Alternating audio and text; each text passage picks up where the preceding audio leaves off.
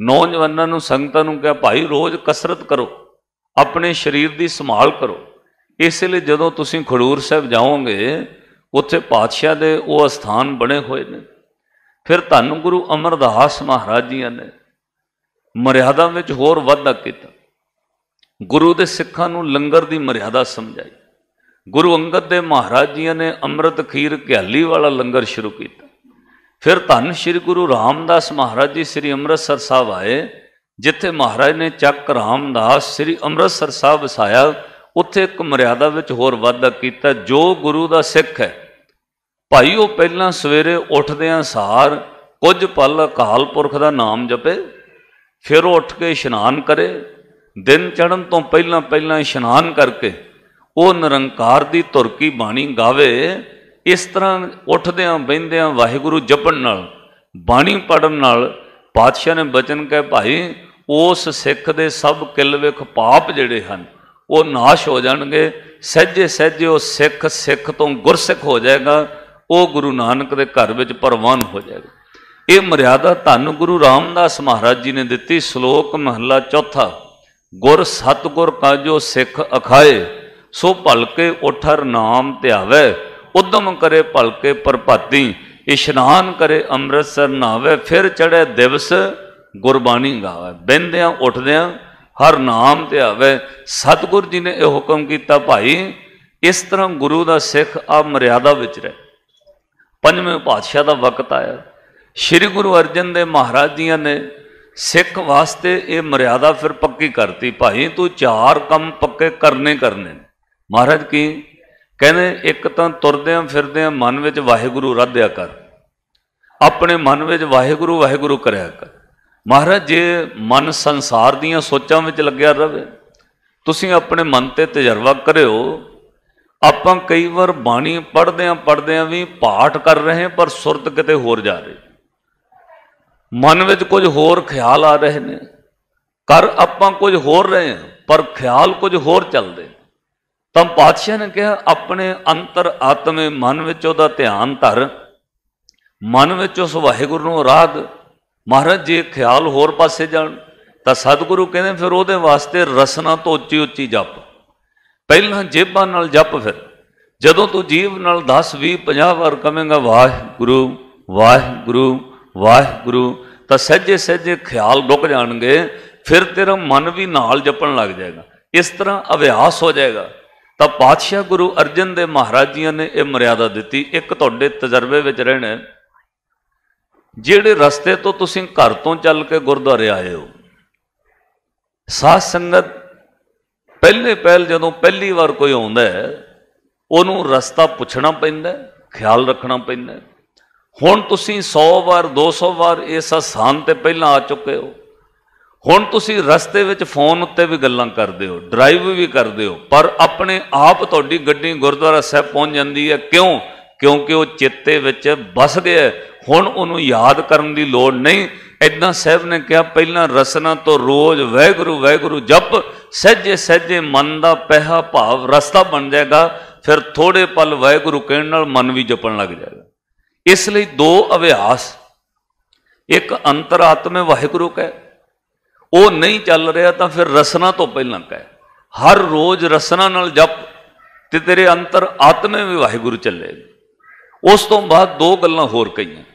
ਪਾਤਸ਼ਾਹ ਕਹਿੰਦੇ ਫਿਰ ਰੱਬ ਨੂੰ ਮਿਲਣ ਵਾਸਤੇ ਅਧਿਆਤਮ ਵਿੱਚ ਗੁਰੂ ਨੂੰ ਪ੍ਰਵਾਨ ਹੋਣ ਲਈ ਕੰਨਾਂ ਨਾਲ ਗੁਰੂ ਦੀ ਬਾਣੀ, ਗੁਰੂ ਦੀ ਕਥਾ, ਵਿਚਾਰ ਸੁਣ ਤੇ ਚੌਥਾ ਕੰਮ ਦਿਨ ਵਿੱਚ ਇੱਕ ਵਾਰ ਆ ਕੇ ਆਪਣੀਆਂ ਅੱਖਾਂ ਨਾਲ ਆਪਣੇ ਗੁਰੂ ਦੇ ਦਰਸ਼ਨ ਕਰ ਇਹ ਚਾਰ ਕਰਮ ਜਿਹੜਾ ਸਿੱਖ ਰੋਜ਼ ਕਰੇ, ਉਹ ਸਹਿਜੇ ਸਹਿਜੇ ਸਤਿਗੁਰੂ ਨਾਲ ਰਤਿਆ ਜਾਏਗਾ। ਪਾਤਸ਼ਾਹ ਕਹਿੰਦੇ ਉਹਨੂੰ ਦਰਗਾਹ ਵਿੱਚ ਥਾਂ ਮਿਲੇਗੀ। ਉਹਦਾ ਲੋਕ ਪਰਲੋਕ ਸਫਲ ਹੋਏਗਾ। ਇਹ ਮਰਿਆਦਾ ਸ੍ਰੀ ਗੁਰੂ ਅਰਜਨ ਦੇਵ ਮਹਾਰਾਜ ਨੇ ਬਣਾਈ।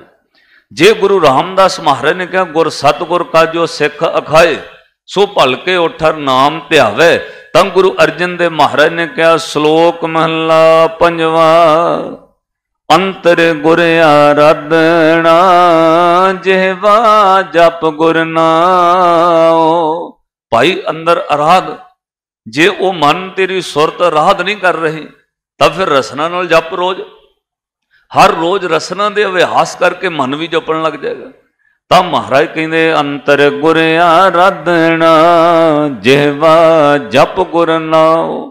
ਬਾਣੀ ਪੜੋ ਜੇ ਨਾਲ ਯਾਦ ਹੋਵੇ ਤਾਂ ਨਾਲ ਪੜਿਆ ਕਰੋ, ਤੁਹਾਡੀ ਹਾਜ਼ਰੀ ਲੱਗ ਪੜੋ ਅੰਤਰ ਗੁਰ ਆਰਾਧਣਾ ਜਿਹਵਾ ਜਪ ਗੁਰ ਨਾਉ। ਨਿਤਨੀ ਸਤਗੁਰ ਪੇਖਣਾ ਸ਼ਰਬਣੀ ਸੁਣਨਾ। ਆ ਜਿਹੜਾ ਆਪਾਂ ਸੁਣ ਰਹੇ, ਇਹ ਗੁਰੂ ਅਰਜਨ ਦੇ ਮਹਾਰਾਜ ਨੇ ਮਰਿਆਦਾ ਦਿੱਤੀ ਹੈ। ਭਾਈ, ਸੁਣ ਬਹਿ ਕੇ। ਇੱਕ ਘੰਟੇ ਵਿੱਚੋਂ 60 ਮਿੰਟਾਂ ਵਿੱਚੋਂ ਸਹਿਜੇ ਸਹਿਜੇ 6 ਮਿੰਟ ਤਾਂ ਸੁਣੇਗਾ ਹੀ ਤੇਰਾ ਮਨ। ਫਿਰ ਉਹਦਾ ਅਭਿਆਸ ਪੱਕ ਜਾਏਗਾ। ਅੱਜ 6 ਮਿੰਟ ਮਨ ਜੋੜਨ ਲੱਗ ਪਿਆ ਕੱਲ ਨੂੰ ਵਕਤ ਆਏਗਾ। ਉਹ 6 ਦੇ ਨਾਲ ਗੁਰੂ ਨੇ ਜ਼ੀਰੋ ਲਾਈ 1 ਘੰਟੇ ਦਾ ਅਭਿਆਸ ਹੋ ਜਾਣਾ। ਇਦਾਂ ਮਹਾਰਾਜ ਨੇ ਬਚਨ ਕਹੇ, ਕਹਿੰਦੇ ਜਿਹਵਾ ਜਪ ਗੁਰ ਨਾਉ, ਨਿਤਰੀ ਸਤਗੁਰ ਪੇਖਣਾ ਸ਼ਰਬਣੀ ਸੁਣਨਾ ਗੁਰ ਨਾਉ। ਮਹਾਰਾਜ, ਫਿਰ ਕੀ ਹੋਏਗਾ? ਤਾਂ ਹਜ਼ੂਰ ਕਹਿੰਦੇ, ਸਤਗੁਰ ਸੇਤੀ ਰਤਿਆ, ਇਹ ਕੰਮ ਕਰਨ ਨਾਲ ਤੂੰ ਗੁਰੂ ਨਾਲ ਰੱਤਿਆ ਜਾਏਗਾ, ਭਾਵ ਤੇਰੀ ਸਾਂਝ ਵੱਧ ਜਾਏਗੀ। ਤੇਰਾ ਗੁਰੂ ਨਾਲ ਪਿਆਰ ਵਧਣਾ ਸ਼ੁਰੂ ਹੋਏਗਾ। ਜਿਹੜੀ ਜਗ੍ਹਾ ਉੱਤੇ ਰੋਜ਼ ਬੈਠੀਏ ਤੇ ਸਾਧ ਸੰਗਤ ਸੁਰਤ ਦਾ ਉੱਥੇ ਪਿਆਰ ਪੈ ਜਾਂਦਾ। ਇਹ ਤੁਹਾਡੀ ਜ਼ਿੰਦਗੀ ਦੇ ਅਭਿਆਸ ਵਿੱਚ ਰਹਿਣਾ ਮੈਂ ਕਈ ਵਾਰ ਲਾਈਵ ਟੈਲੀਵਿਜ਼ਨ ਤੋਂ ਵੀ ਕਿਹਾ, ਕੋਈ ਬੰਦਾ ਤਾਸ਼ ਖੇਡਣ ਵਾਲਿਆਂ ਕੋਲੇ ਕਿਉਂ ਨਾ ਬਹਿਣ ਲੱਗ ਜਾਏ? ਕਿਸੇ ਚੌਂਕੇ ਉੱਤੇ ਬੋਰਡ ਦੇ ਦਰਖਤ ਦੀ ਛਾਵੇਂ ਚਾਰ ਬੰਦੇ ਬੈਠੇ, ਉਹ ਰੋਜ਼ ਉਹਨਾਂ ਕੋਲ ਕੋਈ ਬਹਿਣ ਲੱਗ ਜਾਏ। ਤਾਂ ਸਾਧ ਸੰਗਤ ਉਹਦਾ ਮਨ ਉੱਥੇ ਜੁੜਨ ਲੱਗ ਪੈਂਦਾ। ਔਰ ਤੁਸੀਂ ਹੈਰਾਨ ਹੋਵੋਗੇ, ਇੱਕ ਦਿਨ ਉਹ ਬੰਦਾ ਉਸ ਚੌਂਕੇ ਉੱਤੇ ਹਾਜ਼ਰ ਨਾ ਹੋਵੇ, ਉਹ ਕਿਸੇ ਰਿਸ਼ਤੇਦਾਰੀ ਵਿੱਚ ਗਿਆ ਹੋਵੇ, ਉਹਦਾ ਸਰੀਰ ਰਿਸ਼ਤੇਦਾਰੀ 'ਚ ਹੁੰਦਾ ਪਰ ਉਹਦੀ ਸੁਰਤ ਉਸੇ ਚੌਂਕੇ ਤੇ ਘੁੰਮਦੀ ਵੀ ਬੰਦੇ ਬਹਿ ਗਏ ਹੋਣਗੇ। ਹੁਣ ਉਹਨੀ ਬਾਜੀ ਸ਼ੁਰੂ ਕਰਤੀ ਹੋਣੀ ਹੈ, ਹੁਣ ਉਹ ਗੱਲਾਂ ਕਰਦੇ ਹੋਣਗੇ, ਧਿਆਨ ਉਹਦਾ ਉੱਥੇ ਹੋ ਜਾਣ ਇਸ ਲਈ ਮਹਾਰਾਜ ਨੇ ਕਿਹਾ, ਭਾਈ, ਅਭਿਆਸ ਕਰ ਫਿਰ ਇਹਦਾ ਤੈਨੂੰ ਲਾਭ ਹੋਣਾ ਕਿ ਸਤਗੁਰ ਸੇਤੀ ਰਤਿਆ ਦਰਗਾ ਪਈਏ ਠਾਓ। ਰੱਬ ਦੀ ਦਰਗਾਹ ਥਾਂ ਮਿਲੇਗਾ। ਪਰ ਇਹ ਕਿਹਨਾਂ ਦਾ ਅਭਿਆਸ ਹੁੰਦਾ ਹੈ? ਸੰਸਾਰ ਦੇ ਬਾਕੀ ਨਖਿੱਧ ਕੰਮਾਂ ਦਾ ਅਭਿਆਸ ਆਪਾਂ ਆਪੇ ਕਰੀ ਜਾ ਰਹੇ ਪਰ ਇਸ ਕਰਮ ਦਾ ਅਭਿਆਸ ਪਾਤਸ਼ਾਹ ਕਹਿੰਦੇ ਸਾਰਿਆਂ ਦੇ ਭਾਗਾਂ ਵਿੱਚ ਨਹੀਂ, ਉਹਨਾਂ ਦੇ ਭਾਗਾਂ ਵਿੱਚ ਭਾਈ ਜਿਨ੍ਹਾਂ ਤੇ ਸਤਿਗੁਰ ਨੇ ਕਿਰਪਾ ਕਰ ਦਿੱਤੀ। ਸਾਰੇ ਬੰਦੇ ਨਹੀਂ ਆ ਸਕਦੇ। ਤਾਂ ਹਜ਼ੂਰ ਨੇ ਕਿਹਾ, ਸਤਿਗੁਰ ਸੇਤੀ ਰਤਿਆ ਪੜੋ ਦਰਗਾ ਪਾਈਏ ਠਾਓ। ਕਹੋ ਨਾਨਕ, ਕਿਰਪਾ ਕਰੇ ਜਿਸ ਇਹ ਵਥ ਦੇ। ਜਗ ਮੈਂ ਉਤਮ ਕਾਢੀ ਐ ਵਿਰਲੇ ਕਈ ਕੇ। ਜੇ ਉਹਦੀ ਕਿਰਪਾ ਹੋ ਜਾਏ, ਕਿਉਂਕਿ ਇਹ ਉਚਾਈ ਵਾਲਾ ਕਰਮ ਹੈ। ਇਹ ਹਰ ਬੰਦੇ ਦੇ ਵੱਸ ਦੀ ਗੱਲ ਨਹੀਂ। ਤਾਈਓ ਲੋਕ ਹੋਣਾ ਝੋਨਾ ਲਾਉਣ ਤੋਂ ਪਹਿਲਾਂ ਕਈ ਵਾਰ ਖੇਤਾਂ ਨੂੰ ਲੇਜ਼ਰ ਨਾਲ ਬਰਾਬਰ ਕਰਦੇ। ਕਿਉਂਕਿ ਉਚਾਈ ਵਾਲੇ ਪਾਸੇ ਪਾਣੀ ਨਹੀਂ ਚੜਨਾ ਉਹ ਜਿੱਥੇ ਪਾਣੀ ਨਾ ਜਾਵੇ, ਉੱਥੇ ਫਿਰ ਫਸਲ ਮਰਨ ਦਾ ਖਤਰਾ ਹੈ। ਇਸੇ ਤਰ੍ਹਾਂ ਪਾਤਸ਼ਾਹ ਨੇ ਬਚਨ ਕਹੇ, ਭਾਈ, ਇਹ ਧਰਮ ਦਾ ਕਰਮ ਉਚਾਈ ਵਾਲਾ ਹੈ। ਤੇ ਜੇ ਤੇਰਾ ਮਨ ਉਧਰਲੇ ਪਾਸੇ ਨਾ ਗਿਆ, ਫਿਰ ਤੇਰੇ ਸ਼ੁਭ ਕਰਮਾਂ ਦੇ ਮਰਨ ਦਾ ਖਤਰਾ ਹੈ।